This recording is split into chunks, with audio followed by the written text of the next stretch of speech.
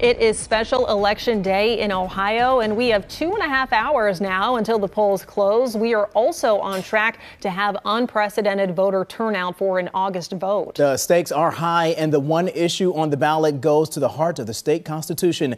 NBC4 is your local election headquarters. Good evening to you, everybody. Thanks for joining us tonight at 5. I'm Kerry Charles. And I'm Jennifer Bullock. Stay with us after the polls close for the latest election results. The single issue on the ballot is issue one, asking voters if it it should be harder to amend Ohio's constitution, raising the voter threshold to pass an amendment to 60 percent. Since 1912, Ohio has used a simple majority, 50 percent plus one, in order to amend the state constitution. Issue one only applies to citizen led efforts to pass a constitutional amendment.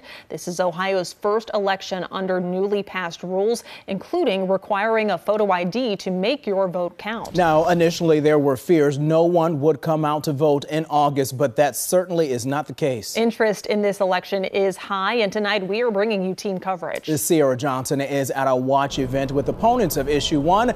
Kyle Beachy is with supporters of Issue 1, but we begin with Natalie Fahmy, who is breaking down the unprecedented voter turnout. And Natalie, voters are motivated for this special election.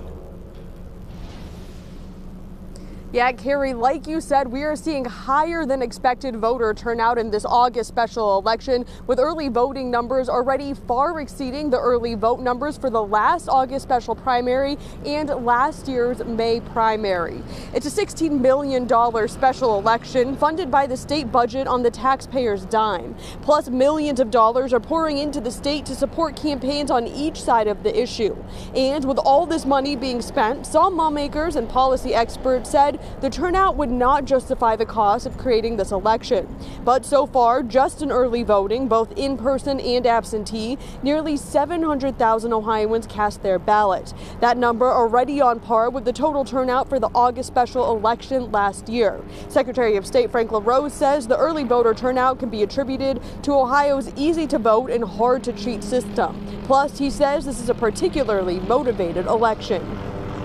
We were excited to see high turnout in both urban and rural areas all throughout the state. And what it shows, first of all, is that Ohioans know how important issue one is and, and want to get out there and make their voice heard on that. Polls are open until 7:30 tonight. You also have until then to drop off your absentee ballot at your local county board of elections. And LaRose says we'll start seeing those early vote and absentee ballot results tabulated by around 8:15 tonight, with unofficial results before the end of the night. Local for you at the Franklin County Board of Elections. I'm Natalie Fahmy, NBC4. And of course, we have coverage for you throughout the evening. More on our special coverage for you in just a moment. Tonight, both sides are gathering to hear the results. Opponents of issue one are gathering at the Firefighters Hall in downtown Columbus. That's where NBC4 Sierra Johnson is tonight. Sierra. Yeah, it's still a little early. As you mentioned, I am downtown at Firefighter Hall. They're still working to set up some of that signage, but this is where the backers of that vote no side will gather to watch those results come in. I had a chance to speak with an organizer, and he says the gathering tonight is really the culmination of work that began back in November to preserve democracy, as is, again, right now, that vote no side preparing for what could be hundreds to gather downtown. Organizer Dennis Willard with one person, one vote says the Vote No team has been working since November and everyone is well aware of what's at stake in terms of shifting that threshold to 60%, as well as the national attention that this race has received. He explains the organization has been keeping an eye on those early voting numbers as well as those lines. In a matter of hours, the returns that make their way in, he tells us tonight, is the true test of a hard fought campaign. I think what really matters is the core issue, which is majority rules. From since November, people have felt that 50 plus 1 equals democracy, and that 60% as a threshold would put 40% of the people in Ohio in charge and and to be able to basically block the will of the people. So since November, we've had that same idea and that momentum, and we've been working aggressively.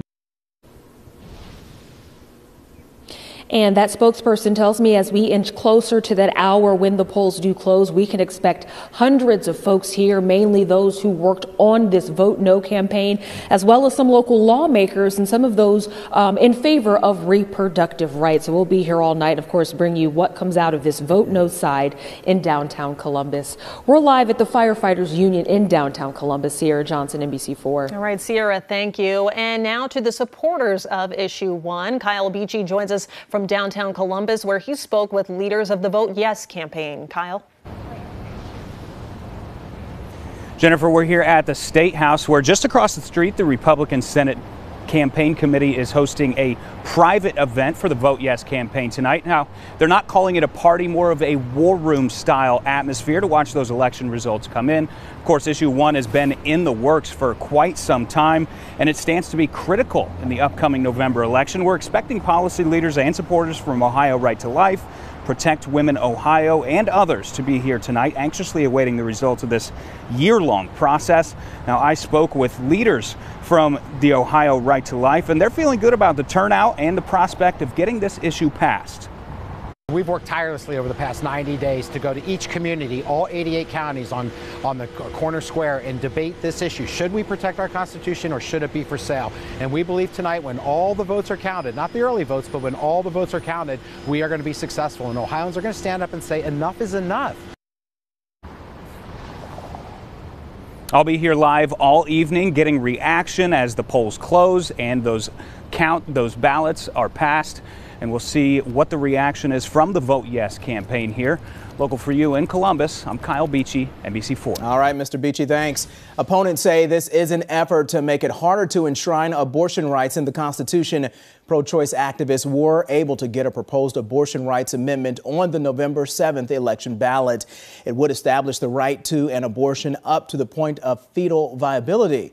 A recent Suffolk University USA Today poll says 58% of Ohio voters surveyed support a constitutional right to abortion. Election officials say every vote will be counted after some voters in Summit County experienced issues with ballot scanners. A spokesman for Secretary of State Frank LaRose says the issues were isolated to two polling locations there. Director Lance Reed of the Summit County Board of Elections tells NBC4 the county switched to new voting equipment this year. Summit County voters use paper ballots. And after some troubleshooting, Reed believes the thickness of the paper was causing the problem. The board sent a bipartisan team to affected polling locations to look at the machines and make sure all ballots were tabulated. At no point did any polling locations shut down. You can scan the QR code on your screen and get linked to live election results on NBC4i.com. Now stay with NBC4 on air and online for the latest results as they come into to our newsroom. We will break into coverage throughout the evening with the latest updates and keep you continuously updated over on our website. NBC4 is your local election headquarters.